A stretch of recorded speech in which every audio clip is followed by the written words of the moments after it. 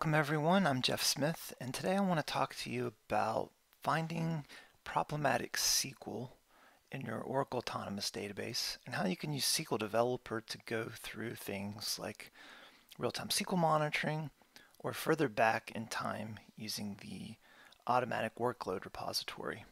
So here I am in Oracle SQL Developer and I'm connected to my uh, Autonomous Database in the Oracle Cloud and to do that, it's fairly straightforward. Uh, you need to go into the Cloud Console and download your wallet. I'll show you where you can go to do that in just a second. But when you're creating a connection in SQL Developer to Autonomous, you want to use the Cloud Wallet connection type, and then you're going to point to that wallet file that we've downloaded. And then inside of that, we're going to have a list of services that we can connect to for that database. I'm already connected, but let me just show you quickly where you can go to find your wallet. Here I am in my autonomous cloud console. I am using the always free tier, uh, but this is the same process regardless if you have a paid or free.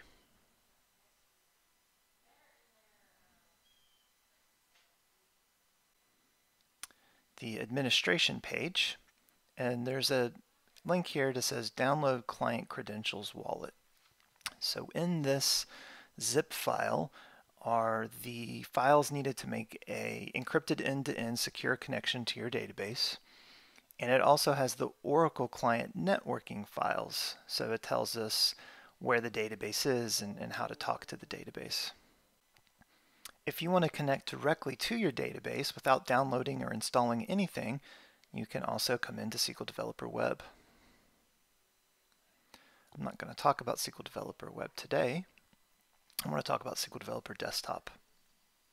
Now, when we're talking about problematic SQL, um, if you want to stay in your browser before we go into SQL Developer Web, there is a link here for Performance Hub. And this allows us to see what's been going on in our instance. And I'm going to show you a similar view in SQL Developer Desktop, but just quickly, I can see that there is a large CPU spike right here. And I'm just dragging this window over to focus um, our attention on what happened exactly in that time period. A couple SQL IDs in there. Now I could click on one of these and immediately go to a page describing the nature of that SQL statement.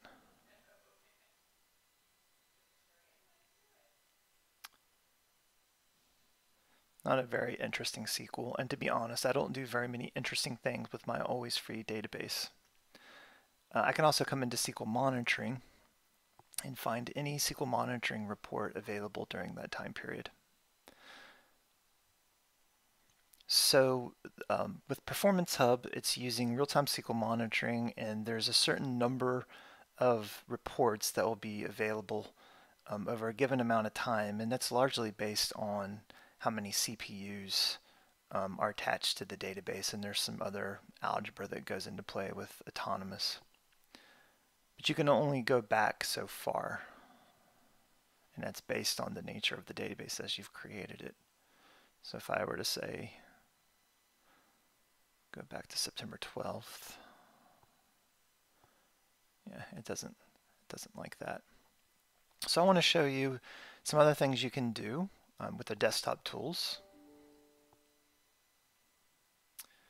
So I have my always free connection in Oracle SQL Developer and I want to come over to the DBA panel.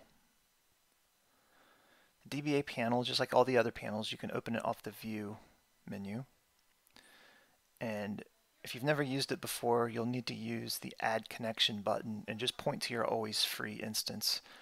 And, and this is a situation where I would say use the admin account because you're going to be doing some high level stuff. We have a couple of options. Um, if we want to see what's happening right now, um, a nice view is the instance viewer. This will take a few seconds to come up. It's still relatively fast, even though I'm going across several states. Okay, so this is only showing what's been happening in very near recent time. So if I come over here to Top SQL, I can sort these by various things. Uh, elapsed time is probably an interesting metric to, to care about. You know, what's taking the most amount of time to run.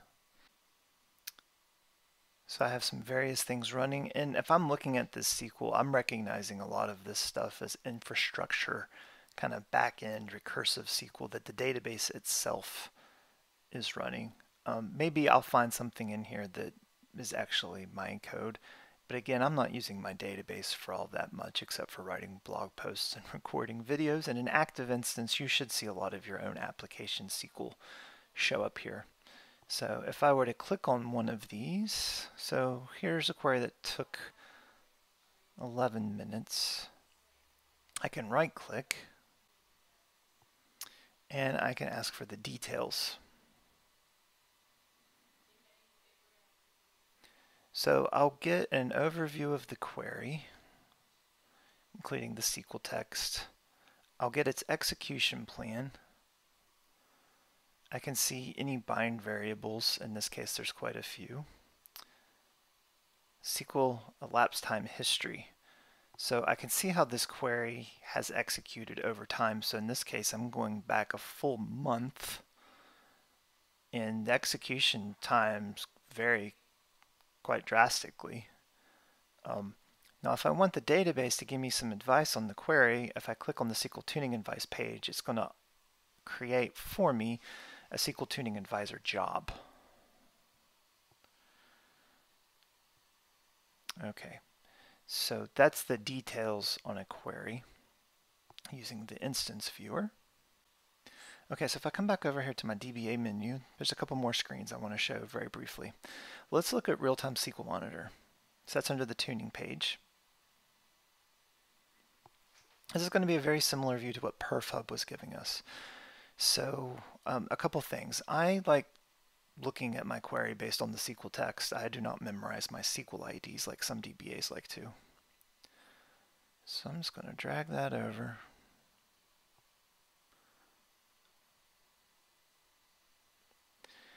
And let's also do a sort here. So let's double click on duration. Okay, so these are the longest running queries. And let's find one of interest. See, if I mouse over, I get a much nicer overview of what's happening. And then as I click one, I get the details below. So these queries, if they were running right now, the status wouldn't be green check mark. Green check mark means, hey, this query is finished. I'm not actively running anything um, that is or has caused a real-time SQL Monitor report to kick off. And the nice thing about real-time SQL Monitor is as if it was running in real time, I could see where the optimizer or the SQL engine was spending its time step by step in the plan. Here, since it's already run, you can see the majority of the time was spent up here. So a lot of time on the sort.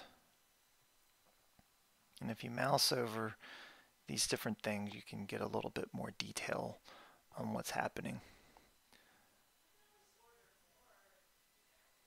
If any of these had ran in parallel, then I would have a parallel page here that could show me breakdowns per process that the database had divided the work up into to see what was what. The nice thing with um, Autonomous is since it's so diligent at keeping the statistics up to date, hopefully we won't see very many cases in Autonomous of where the estimated cost and the actual amount of rows or data that's encountered won't be off by that much. But if they were, you would see it here on this page. And then on the metrics page, we can see where time was spent, how much resources were used over time. Now I can save this as a report. If I need to share this with someone else, I can do that.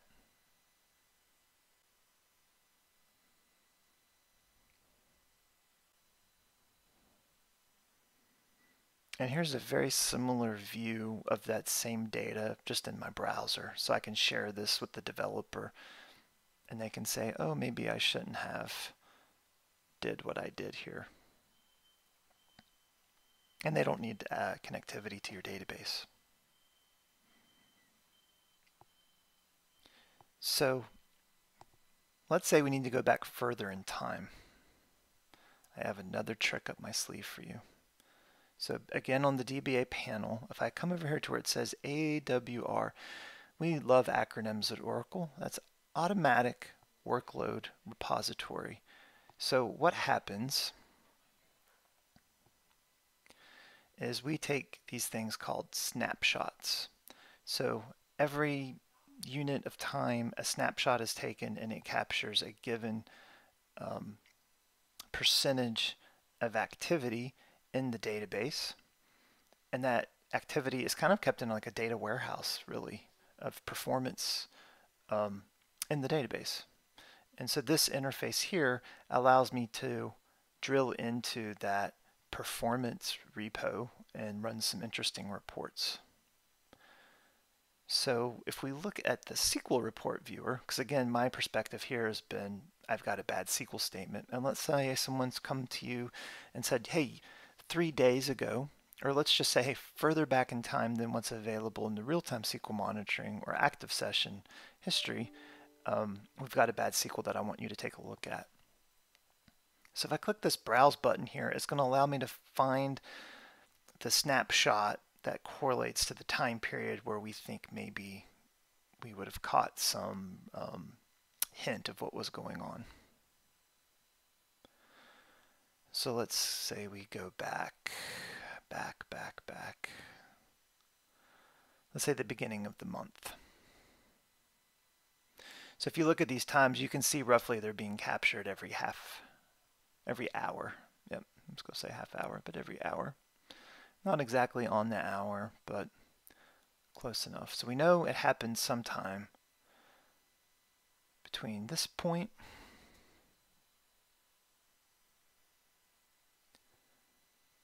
Now when I click to browse the second set, SQL Dev is smart enough not to show me any time periods that exceed or came before where we started. So now over here, I can say based on this unit of time, I could, if I wanted, paste in the SQL ID. Maybe I know what the SQL ID is. Or I can instead click this Browse button. And SQL Dev comes back with all of the SQLs that were captured um, in that time period, which is about 25 hours. Now again, like I said, I don't memorize my SQL by SQL ID.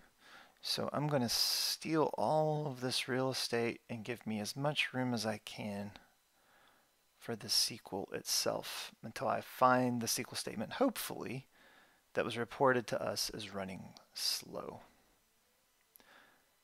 And I'm just going to pick one randomly here.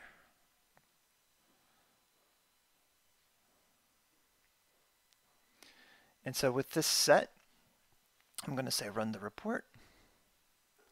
And this would be the same report that you're used to seeing in Enterprise Manager um, or any other tool that has an interface um, to the AWR Automatic Workload Repository reports. So since this is the SQL report, the SQL summary is just for this individual SQL statement. And we can see all of the different plans that have been captured for this SQL statement. And we can see the statistics for this SQL statement. And this is all, again, based on this time frame. And there's that execution plan. This can also be saved as a report and I can also just open this in my browser directly if I want. So again it's easy to share this information with people who don't necessarily have the credentials necessary to get into the database.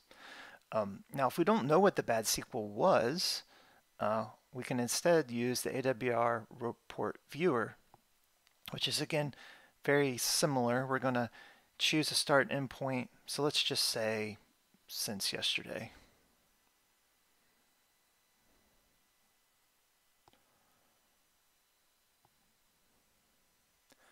Now the more you ask for, the longer these reports will take to run, and the more active your databases are, the more content they're going to contain. Um, but here is this basic report. So we have the start end time, we can kind of just scroll through this quite a bit looking for interesting pieces. So some interesting pieces could be wait events or wait event statistics.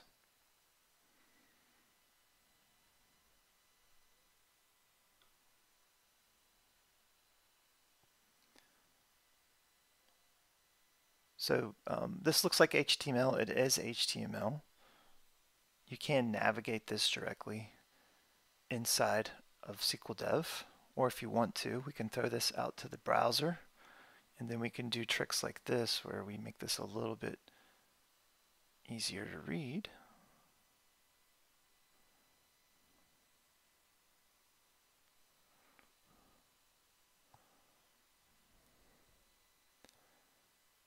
We can go to the reports. So these um, automatic database diagnostic monitoring reports basically look for issues in the database. And this is a butte. I did not know it was going to say this, but in the past two days, no findings. And basically because there wasn't enough happening in the database to even bother checking for issues. Probably because yesterday I was writing a blog post on something not autonomous based, so I really wasn't using my instance. Now, another nice thing with this feature is this is normally licensed, or when I say normally, it's always licensed via the diagnostic pack for your Enterprise Edition Oracle database. Since we're an autonomous, we don't have to worry about that kind of licensing. It's included. So you have free reign to work with any of these features on this database. Now when you're in SQL Developer on your desktop and you go to open one of these screens for the first time, it will prompt you and say, hey, using this screen will require a license for the pack that's involved. And that could be the tuning pack, the diagnostic pack, and there are a few others. And at that point, you can say, oh no, I don't think I'm good to go here. But if you're an autonomous, those things are included and you can use these screens. Thanks, everyone. I, if you have any questions, I've got plenty of content on thatjeffsmith.com, and I'll include some links in the video description. Have a great day.